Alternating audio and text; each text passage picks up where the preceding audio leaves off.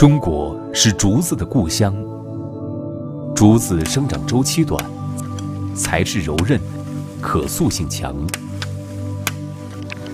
两千多年前，中国的先民就开始用竹子加工编制竹筐、竹篮、竹盘、竹盒等各种农具、日常用具。好的竹编制品，一般要经过设计、造型、加工竹丝篾片、染色、编织、油漆等十几道工序，才能最终成为一件件美观大方的生活用品，匠心独具的手工艺品。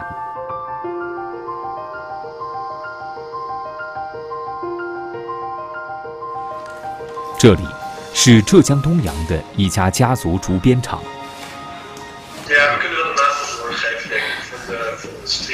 呃，这个设计图给你，然后我用我把它翻译成中文，呃，交给你了以后，你可以开始做一些测试。嗯，好吧。好的，好的。与外商谈生意是何家第二代竹编大师何红兵的日常工作之一，从劈竹到拉丝，从设计到编织。何红兵的竹编日用品与工艺品，融入了更多的时代与创新元素。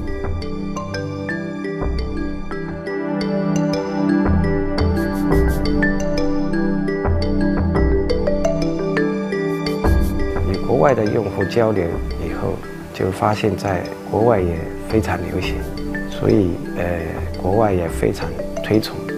呃，现在我们在做一些比较具有设计感的。比较有现代意识的一些现代的造型、现代的元素。何鸿兵的父亲何福礼，从一个只有小学文化基础的篾匠，成长为一代国家级的竹编大师。这件以故宫角楼为原型，按照一比三十的比例创作的竹木望月楼，高度超过一米，历时三年编织而成。是何福礼自己最为得意与珍视的一件竹编作品。望月楼融合了四十多种竹编技法，最为精细的地方，一厘米的宽度可容纳五十多根看起来细如发丝的篾丝。门窗可以自由开关。细的，像头发是一样的面是一定要用水做。做子是比较便宜的，主要是工艺，有平面编织，有立体编织。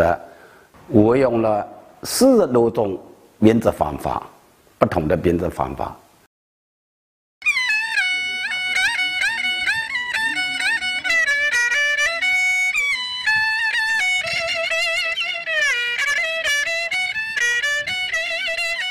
生于一九四八年的卢光华，长在竹编世家，学得了一手竹编技艺。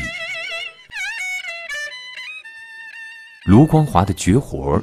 是通过多年探索，将细如丝、光如绸、薄如绢、美如锦的精细平面竹编工艺，成功应用到中国书法国画图案的表现之中，既保持中国书画神韵，又体现传统工艺特色，使之成为极具文化内涵与民族特色的竹工艺精品。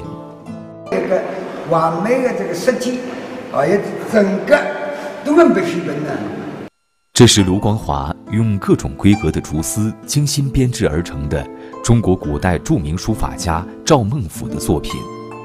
细微处竹丝如发，从谋篇布局到每个字的间架结构、笔画笔势，无不追求展示书法原作的神韵与风采。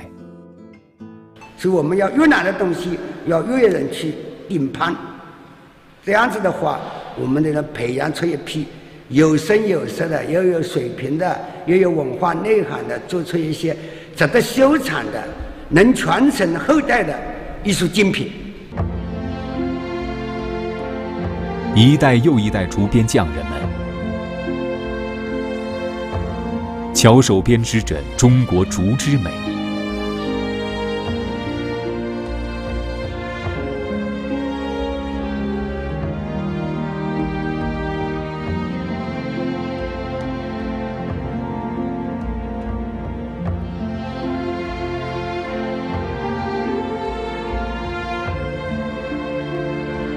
在岁月中流转。